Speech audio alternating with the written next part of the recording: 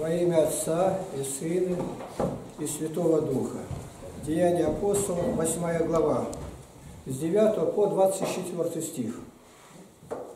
Находился же в городе некоторый муж именем Симон, который перед тем волховал и изумлял народ самарийский, выдавая себя за какого-то великого.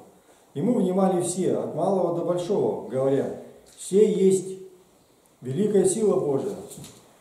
А внимали ему потому, что он немалое время изумлял их волхованием. Но, когда поверили Филиппу, благовествующему о Царстве Божьем и о имени Иисуса Христа, то крестились и мужчины, и женщины. Уверовал и сам Симон. И, крестившись, не отходил от Филиппа, и, видя совершающиеся великие силы и знамения, изумлялся. Находившиеся в Иерусалиме апостолы, услышавшие, что самаряне приняли Слово Божие, послали к ним Петра и Иоанна, которые, пришедшие, помолились о них, чтобы они приняли Духа Святого. Ибо он не сходил еще ни на одного из них, а только были они крещены во имя Господа Иисуса. Тогда возложили руки на них, и они приняли Духа Святого. Симон же, увидев, что через возложение рук апостольских подается Дух Святой, принес им деньги, говоря, «Дайте мне власть сию, чтобы тот, на кого я возложу руки, получал Духа Святого». Но Петр сказал ему, «Серебро твое да будет в погибель с тобою, потому что ты помыслил дар Божий получить за деньги. Нет тебе всем чести и жребия, ибо сердце твое неправо перед Богом». Итак, покайся всем грехе твоем и молись Богу. Может быть, отпустится тебе помысл сердца твоего, ибо вижу тебя исполненного горькой желчи и в узах неправды. Симон же сказал в ответ, помолитесь вы за меня Господу, дабы не постигло меня ничто из сказанного вами. Это удивительная история, страшная. Человек подумал купить то, что не продается – когда мы читаем Деяния апостолов, 5 глава, с 1 по 11 стих, чуть попозже, то мы видим, какие страшные последствия корыстолюбия. Это сегодня буквально заполонило церковь. И не говорить об этом уже нельзя, потому что вы уже встречались с этими людьми, видели этих барышников, барыги называются – они все стараются копейку выжить. Но сегодня в церкви знают эти правила, да, это называется грех симония, в честь Симона. Ну, Лютер был основатель протестантизма, лютеране, Яном Гусом мы последовали гуситы. Это люди, которые решили дар Божий купить. Даром получили. Но свечи не даром даются, их можно за оградой церкви продавать. Ни запрета нет. За пределами храма и храмовой территории. Но без примеси. Как Левитам 10.10 говорит, отличайте чистого от нечистого, святое от несвятого. А сегодня они и красные, и синие, и зеленые, там всякой химии натолкано. Нечистому это может быть. Богу это не нужно. И Бог перечисляет, если у ягненка колено когда-то там, нога была сломанная, срослась, даже незаметно, Богу не приноси в жертву, Богу не угодно это. Возьми, говорит, Боже, что нам не Боже. И вот это ужасная история. И апостолы говорят, может быть, тебе отпустится грех, то есть молитвы нет за них. Ты молись, а вы помолитесь за меня. Вот на этом сегодня много играют. Вы даже многие не слышали об этом. Я знаю это от священника, от нашего батюшки. Отпевают человека – он ни разу в храме не был. Крещен он или не, неизвестно, но у них есть деньги. Те же самые цыгане. Воровство, наркотики, смерть, безобразие. Умер, и теперь начинает их барона хоронить. Священник сразу спрашивает, а вам как, с хором? С хором. У нас хор большой. Что большой? 32 человека поют. Каждому нужно дать, ну хотя бы тысяч по пять. Хорошо. А дальше. А вас, когда гроб принесете священнику, выходить вас встречать или нет, это другая стоимость. Шкала целая, реестр. Теперь, когда отпевают там особые запевы делатели, у цыган много чего есть, они наворожили. Теперь, провожатели до кладбища, о, это уже все. Тут уже шестизначные цифры не умещаются. Это в церкви, это сегодня. Я читал старые книги, как заказывали молебно на Святой Земле на 5-10 лет и на вечное поминовение. И какие деньги платили. Это невероятно. А тут раз, и все кончилось. Революция, и все деньги пропали. И люди-то ведь, имея деньги, они понимают так, что если его помянут там, то значит все исполнится. Сегодня в церкви придумали как?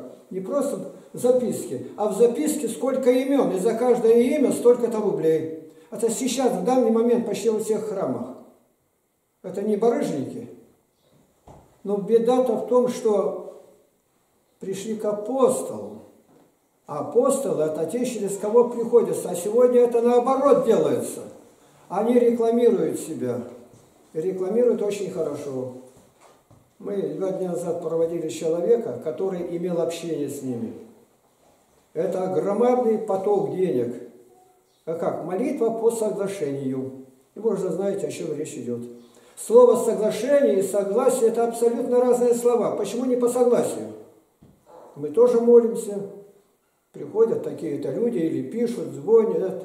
Мы говорим, что помолиться можно помянуть, но никакой гарантии мы не, не можем давать. А это соглашение. Это слово во всей Библии каноническое, вот лежит здесь перед нами, встречается только один раз. Книга пророка Даниила, 11 глава, 30 стих. В самом отрицательном смысле. Это соглашение двух преступников. Договор заключен. Не изменять мы назначили. А попросили, я могу и забыть, но просить мало о чем просить где-то. Тем более, если я знаю, человек неверующий, я и молиться не буду. А было что вам платить? Пытались. Но ни под каким видом. Это грех симония. И мы увидим сейчас, какие ужасные казни Бог насылает. Я прочту некоторые правила. Вам не забыть, плохо, что не можете записать. Есть такая официальная хроника, название журнала Московской Патриархии. Официальный патриарший журнал. Номер два. За 93 год, страница 18. Далее. Номер первый и третий, как бы три номера в одном. 94 год, страница 90, 34, 38. И далее это все идет из речи патриарха Алексея II. И он говорит, не крестят, а только макают где-то руку в воду и теперь по голове. Какое же это крещение? Это патриарх Алексей II, Ридигер, фамилия его. Но это не все. Я выступал, говорит, на московском епархиальном собрании. Уже прошло полтора года, никаких изменений нет. 98% священников меня не слышат. Это говорит патриарх всея Руси. 98, это много. Он назвался, может быть, 2, 0, 2 десятых на то, что может быть где-то и есть. Он даже не знает этих. При том, как крестить, погружения нету. И он бы мог запретить их. Канон, 50 апостольское правило, извергает из сана. А сегодня это доходная жила. Приходят, когда начинают крестить, тут сколько. Я не слышал, только недавно узнал. Крестили как? Ну как, ладошкой по голове. Ну а вы знали, что надо полностью? Со мной знались они. Я им материалы съел. Да, священник вышел. Кому полное погружение, значит, там в четыре, кажется, раза дороже. Это бизнес церковный. В Греции в их мифологии были божества. Марс – это бог войны, Юпитер и перечисляет где. А, а что Юпитер? Торговли. Его изображали особым, ну это дух у них все-таки, крылышки на ногах, он быстро бегает сюда, в другое место. Я в церкви, когда здесь работали дворниками, ну и в церкви приходилось почаще бывать. Оказывается, священник говорит, при счастью, кто готовился, купите две свечки. Но не ставьте их, передо мной положите. Набирается полная корзина, служка хватает ее и опять в торговую точку. И несколько раз она вот так ходит. Ведь это даже самые отъявленные барыги, жулики этого не придумают. Что думают церковники? И попробуй бесплатно. Священники заедят его. Я сегодня только получил свидетельство, как восстают люди, священники против проповеди. Вот второй день ко мне стучится один человек, я посмотрел, да это наш учитель бывший, Виктор, во Франции. И он с одной женщиной там провел беседы, две священники узнали, категорически запретили. Может, другой, ну иди к такому-то Аркадию. Он туда, этот, на этого Симеона опять скинул. С самыми страшными угрозами, если ты будешь проповедовать и говорить. Это православие, это наше. А у сектантов есть такой, они не слыхали даже про это. Неужели это за деньги? Да, за деньги. Это называется мамона. Не можете служить Богу? Не можете! Христос говорит, а мы можем. А это значит, ни Бога нет, ничего уже. Это сегодня конкретно касается нашего жительства здесь. Есть люди, которые в это верят. И они туда едут. Ну, я спрашиваю, а как знать, интернет помогает раскрутку сделать. Только за один месяц тех, которые желают заплатить, 2 миллиона. Оплатить сколько? 750 рублей. Это 750 миллионов сразу. Стоит о чем подумать. И это касается людей, которые среди нас бывают. И не говорить об этом, это по Слову Божию, быть соучастником их. Про эту симонию, о которой мы сейчас читаем, говорит апостольское правило 29. Извергает из сана того, кто епископ полагал, и тот, кого полагали. Четвертый Вселенский собор. Второе правило. Шестой Вселенский собор 22-23. Седьмой Вселенский собор 45. А почему повторять? Значит, зараза была, и от нее не могут избавиться никак. А если бы этого не было, зачем? Притом только одно и то же. Василий Великий, 90 правило. Геннадий Патриарх, пишет письмо. Тарасий, это патриарх Константинопольский. Это не игра. Какому же Богу мы служим? Богу или Мамоне? По милости Божией у нас как бы нет этого. Я разговаривал с нашим священником, он говорит, так это и в Москве, и везде сейчас заказные, там молебно, сорокаусты, человек умирает, когда 40 раз просчитать, ну, продвинутые здесь буддисты оказались они. А можно так, чтобы не считать, а уже прочитанное проигрывать? Можно. А дальше как? Специально меленка такая, на воде стоит и молитву эту крутит. Постоянно идет молитва. То есть мы не самые умные в мире-то. А вот просто молиться. Апостол Павел говорит, я молился, у вас проповедовал со слезами день и ночь, три с половиной года. Где он слезы брал? Бесплатно. Что за деньги молиться? Даже Библия об этом не упоминает. Но теперь ну, развитие идет, доходят до этого. Вот мы прочитаем, что говорит о корысти Господь нам. Псалом 9, 24 стих. Как он их называет, Господь, этих людей? Ибо нечестивый хвалится похотью души своей, корыстолюбец ублажает себя. Ну как не ублажать? Такие деньги, целые улицы, домов строят. Все будет предано огню и проклятию Божию. И мы это увидим. Деяния апостолов, 5 глава, с 1 по 11 стих. Как к деньгам надо относиться? Не прятать. На дело Божие жертвовать, на бедных, на себя, где это нужно. Но не обманывать. А у нас такие рядом живут. Я говорю, а сколько получает муж? Спрашиваю жену, не знаю, не говорит никому. Пенсию. Так хочешь, так и понимай. Далее. Некоторый муж именем Анания, женой свою Сапфиру, продав имение, утаил из цены сведома и жены своей, а некоторую часть принес и положил к ногам апостолов. Но Петр сказал, Анания, для чего ты допустил сатане вложить в сердце твою мысль, солгать Духу Святому и утаить из цены земли? Не Петру, Духу Святому речь-то идет, почему такое строгое наказание. Смертельное. На раскаяние Бог полминуты не дает даже этим людям. Далее. Чем ты владел, не твое ли было, и приобретенное продажей, не в твоей ли власти находилось? Для чего ты положил это в сердце твоем? Ты солгал не человеком, а Богом. Услышав сии слова, Анания пала без дыхания, и великий страх объял всех слышавших это. И ставшие юноши приготовили его к погребению, и вынесши похоронили. Часа через три после сего пришла и жена его, не зная о случившемся. Петр же спросил ее, скажи мне, за столько ли продали вы землю? Она сказала, да, за столько. Но Петр сказал ей, что это согласились вы искусить Духа Господня?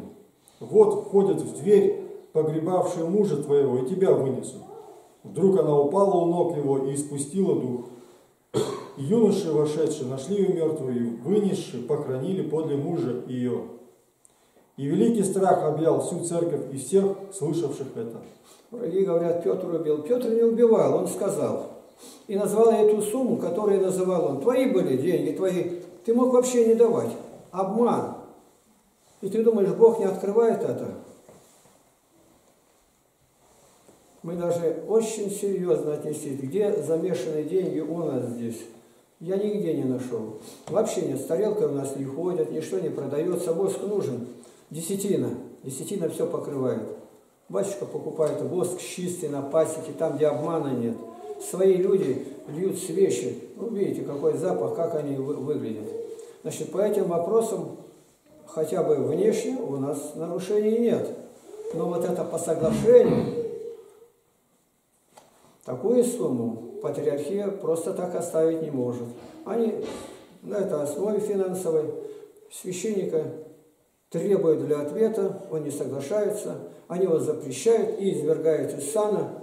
Но по милости Божией, я как бы участник был, однажды съел. Только не думайте после того, как извергли, что-то делать, священническое благословение, потому что дальше только анафема, проклятие. Ну и вот как было на днях, я этого батюшку спросил, я говорю, я порадовался, что хотя дальше не пошли. А батюшка даже с ними встретился и говорит, я вижу и печали никакой нет, что из сана извержу. Сколько ты получаешь? Значит, что-то другое было. Притом священник, я уже сколько знаю, хороший. Но и вот это как раз попустительство. Сегодня, по сегодняшний день также они все заказывают по соглашению, слово соглашение. Хорошо запомните. Книга пророка Даниила, 11 глава, 30 стих. Ну, один стих запомните. Больше нигде не говорится, и просчитайте. Как в мире говорят, это надо же, единственное грозное предупреждение, и они его взяли на себя как хомут.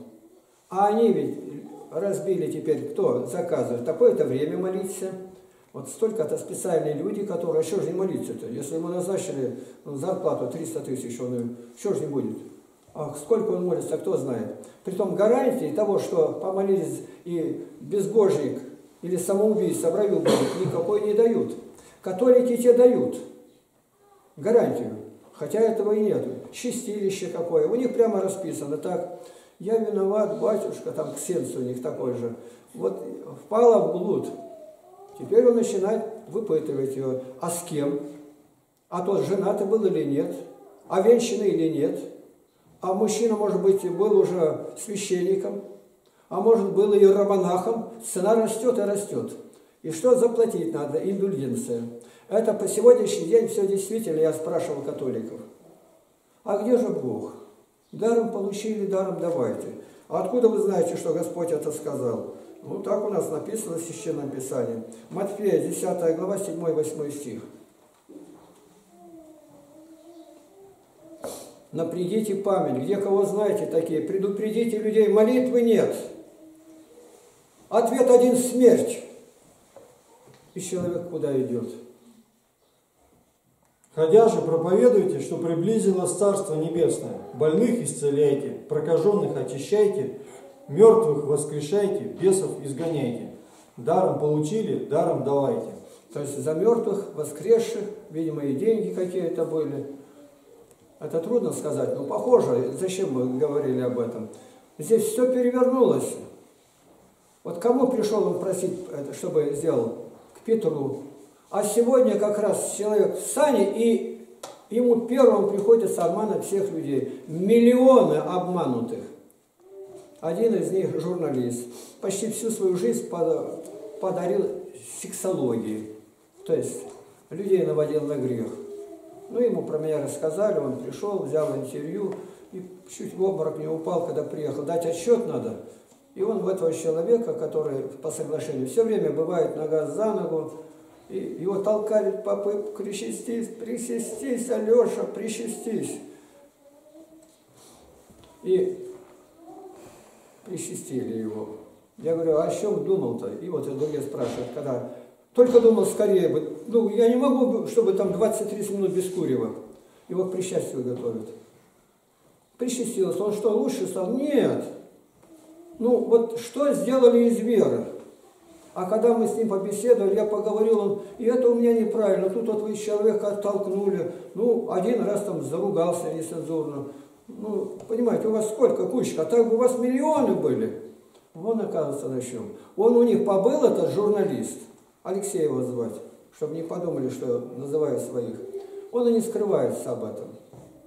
Его так приучили. Я ему даю интервью в Барнауле, там есть такое возвышение, новый храм построили, бывшее кладбище где. И он этот квадрокопер где-то достал, какой-то знакомый запустил его кверху, чтобы мы, когда мы молимся, а у них передается туда, чтобы ближе к Богу быть. Даже не додумаешься. Но его все-таки это коснулось. Он после с кем бы только не встречался, с артистами везде всем. И всегда про меня говорит, а тата, разве можно так жестоко? А соратников не нашлось почти. Да как, как по-другому говорят? По-другому. Не просто Бог требует от нас чего-то, а смерти, отвергнись себя. Павел умер для мира, и для меня мир умер, а тут мирскими повадками все захвачено. Прочитаем еще несколько мест Святой Библии. Притча Соломона 15, 27. Я говорю о крестолюбии. Корыстолюбивый расстроит дом свой, а ненавидящий подарки будет жить. Ненавидишь богатство, будешь жить. Я им, а как? Очень просто. Мне приходилось проповедовать в разных странах Европы. Не где-то, а в Ватикане. Это центр католичества. Подарить обоим папам книги. Ну а как проповедовать, когда нет другой веры? У нас есть общее. Да что там общее? Зато говорит, воздух общий, земля общая. А мы одинаково как бы верим во Христа Иисуса. И пришлось многое выслушать, сказать и оправдать эту поездку. Скольким людям Бог открыл истину. И какую? Бедности. И бывает так. Говорю, в это время я полностью заключен на проповедь, а кто-то, знаете, в карман что-то сует. Отойдя-то я в карман полезу я вижу 100 рублей. У меня с первого дня правила принятые, которые Бог позволил ни разу не нарушить. 100 я должен отдать, 105, 110, хоть сколько, но не меньше, больше. И поэтому чем больше мне положат, тем беднее я делаю. Я как огня боялся, карманы зашить. Ну можете вы себе это правило сделать? Нет, кто бы он ни был. Цыганский принцип здесь будет как? Ну те люди неверующие, они строят ему склеп, магнитофон туда ставят, телефон, как Жуна Давиташвили похоронила, когда сына зарезали, какой он, приемной или где было, зарядила телефон. Через неделю разрядка. Раскопать могилу. Раскопали. Он все равно живет. Он не жил, она умерла. Главная ведьма России. Я касаюсь моментов, которые друг с другом связаны. Все связано, сказано о деньгах. Мало того, военное здание, которое назвал ведьму, там в пять этажей, от Министерства обороны, кажется, ей подарили. А потом все вернули назад. Даже вообразить нельзя, речь идет о многих-многих миллиардах. Конца жадности нет. Недавно арестовали этого полковника, одного военный, стоит, он даже не морщится. Сразу у него сколько кубометров, кубометров долларов полторы тонны только. Ему нужно столько. Священникам-то много ли надо? Мне вот пришлось быть в Америке, маленький приход, я говорю, а как он живет? А ничего, работа на час, где-то столярничает. Такая работа, где он уйдет, ни от кого не зависит. И поэтому приходится работать, и никакого унижения тут нет. Он делает то, что умеет делать, притом не греховное дело. А, а остановить это можно? Не, нельзя. Нет. Остановки никакой нету. Есть был один такой представитель денег этих, он написал книгу «Капитал». Вы знаете о ком. говорить. Он говорил, при 200% прибыли капитал показывает оживленность. При трех, говорит, он уже движется с открытыми там глазами. И не 400, если процентов, даже под страхом виселицы никто не откажется. А сегодня от свечек только бывает больше тысячи процентов от крестников. Это четыре виселицы рядом стоят, и все равно перепрыгнут и будут делать. Вы для себя это возьмите. О чем я говорю, скажете, а, я хочу точно знать. Я вам назову. Меньше недели назад только человек у нас этот был. И мы отдельно беседовали, говорили. И вы слышали, когда мне предоставили слово, и я сказал об этом. Соглашение – это договор запечатленный, я обязан выполнить. Он заранее знает, человек выполнить невозможно. Кому-то, ну вот возьмите, я уж разговаривал с людьми, там Иосипов выступал на это, к Матроне, и книга висит, записывает. Духовной ни одной нету. Ну, взял немного, говорит, 500 просчитал. Выдать дочь замужу никак не получается. Сын запился, наркоман. Ну, разные-разные просьбы-то здесь. И Матрона сказала, а прямо в ее житиях написано, когда у вас что-то нужно будет, вы на могилочку придите, меня за пяточку ухватите, и я вам отвечу. Во-первых, под землей это не каждому удается. Ну, икону нарисовали, там прислонил руку где-то. Веры-то нету. И тысячи смертей окружают человека. Так вы истину говорите. 14.6 Евангелия от Иоанна, одна, я есть путь истины и жизни. Да много ли вас? Большинство там, где Бог. Просто научитесь отвечать как. А вы хотели бы даже слышать противно. Этот обман который погубил миллионы, если не миллиарды. Исайя, пророк, 57-17. За грех корыстолюбия его я гневался и поражал его, скрывал лице и негодовал. Но он, отратившись, пошел по пути своего сердца. По пути своего сердца. Притом активно и напряженно работают. И есть что дать. И люди, которые получали что-то оттуда, они оттуда выйти не могут. Они раз за разом туда едут. Вот беда-то еще в чем. Поэтому у нас работают, сколько приехали к крещению. Так что, это мои гости. После крещения отблагодарили, остались, ну, остались два человека, три. Поблагодари Бога. Без копейки. Но я обязан накормить трудящихся, достоин пропитания. Все на этом. Обвинений в наш адрес никаких и никогда не было, и по милости великого Бога и быть не может. В Новом Завете считаем Римлянам, первая глава, 29-31 стихи. Так что они исполнены всякой неправды, блуда, лукавства, корыстолюбия, злобы, исполнены зависти, убийства, распри, обмана, злонравия, злоречивы, клеветники, богоненавистники, обидчики, самохвалы, горды, изобретательные на зло, непослушны родителям, безрассудны, велоромны, нелюбовны, непримиримы, немилостивы. 23 причины, чтобы попасть в ад. И одна из них на уровне всех идет корыстолюбие. Довольствуйся тем, что есть, довольствуйся малым.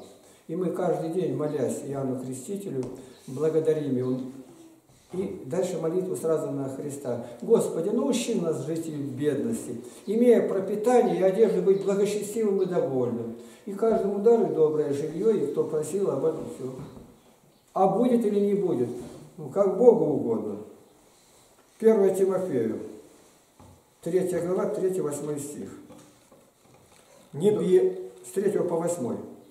Не пьяница, не бийца, не сварлив, не корыстолюбив, но тих, миролюбив, не сролюбив. Хорошо управляющий домом своим, детей, содержащих в послушании со всякой честью, честностью. Ибо кто не умеет управлять собственным домом, тот будет ли пищить о Церкви Божией? Не должен быть из новообращенных, чтобы не возгордился и не подпал осуждению с дьяволом. Надлежит ему также иметь доброе свидетельство от внешних, чтобы не впасть в нарекание и сеть дьявольскую. Диаконы также должны быть честны, не двоязычны, не пристрастны к вину, не корыстолюбивы. Опять же, епископы, священники не корыстолюбивы. Перечисляются, какие они должны быть. Мы об этом мы должны молиться. Чтобы никто из известных нам людей не попал вот в эту когорту. Первое Фессалоникийцам.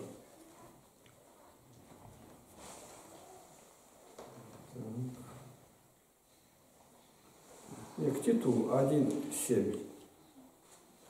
Ибо епископ должен быть непорочен, как Божий домостроитель, не дерзок, не гневлив, не пьяница, не бийца, не корыстолюбец. 1 Фессалоникийцам 4.6. Заметьте, как качество одно из основных не корыстолюбив. Чтобы вы ни в чем не поступали с братом своим противозаконно и корыстолюбиво, потому что Господь мститель за все это, как и прежде мы говорили вам и свидетельствовали. Корыстолюбие, деньги, мамона – это все об одном и том же. Ты можешь работать на любой работе неосудительной. А осудительная работа та, которая запрещена Священным Писанием. Мы сегодня прочитали, услышали, как страшно попасть в этому змею. Вот заходит жития святых, что-то отвесить. Он отвешивает, он говорит, а почему у тебя змей на шее, покупатель святых? Как змей? Еще нету. Открой ему, Господи, глаза, он тогда увидел, змей его душит. Ты гирю-то почему уменьшил? А гири сумел отпилить там что-то, и теперь ее продает, и помаленьку ему где-то набегает. Так вот, в каждом деле, в рассуждении, везде мы должны поступать поистине. Как желаете, чтобы с вами поступили, поступайте и вы с ними. Вот здесь, за этим столом, мы сидели, я молчал, ну, священник наш и бывший священник попросили сказать, помните, я мало успел сказать, потом отдельно на работе нас посетили здесь на пруду, приехали. И еще я просил, последний день отъезда, мы молимся в 5 утра, чтобы зашел этот человек и с нами помолился. Мы как раз об этом говорили. Но от нас это не зависело. Итак, мы в молитвах поминаем друг друга. Я это говорю не с тем, чтобы там унизить или как-то. Молитва за него идет. Я могу просто сказать. Не было ни разу, чтобы забыл помолиться на него. Вы знаете, как звать. Но результат этого только Богу известен. Желательно, чтобы еще кто-то подсоединился. Именно об этом священнике, уже лишенном сана и продолжающем все это всю эту команду вести. Есть люди, которые ваши здесь, они уже, прости Господи, утонули в этой трясине. Их нельзя делать. А, а дальше идет зависть, злословие. Человек не понимает, что делает. На меня это никак не влияет. Я его знаю, молюсь. И вот три раза ему были запросы про меня. И он дал такие ответы, что я этого недостоин даже. Он перечисляет всех которых он знает, патриарха, как он говорит, Алфеева, там, митрополита, а еще я знаю. И дальше начинает как Писание, и как люди, и как сектанты приходят. И, ну, он меня только первый день встретили здесь и говорит, я первый раз услышал о вас, что где были у сектантов, они буквально толпой за вами лезли, приняли православие. Ну, сказать, что везде и всегда не так бывает где-то. Он очень расположен. Снова спрашивает его. Он отвечает, я мелочь по сравнению с ним. Он мой учитель, меня называют. Пусть моя молитва дойдет, поддержанная вашей. Он мне дорог. И чтобы вы знали, о чем молиться, я все вам рассказал. Не называя его имени, вы знаете, о ком говорится.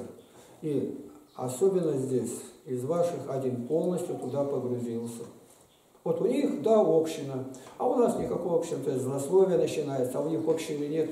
Неверующие люди делятся легко, они могут то, что у нас есть, всю эту технику, комбайны в один день купить, ему даже нужды нет.